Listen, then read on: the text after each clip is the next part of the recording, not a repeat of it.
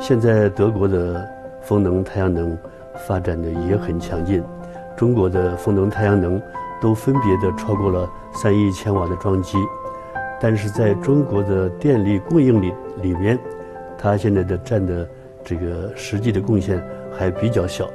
我们下下面呢就要解决好这个问题，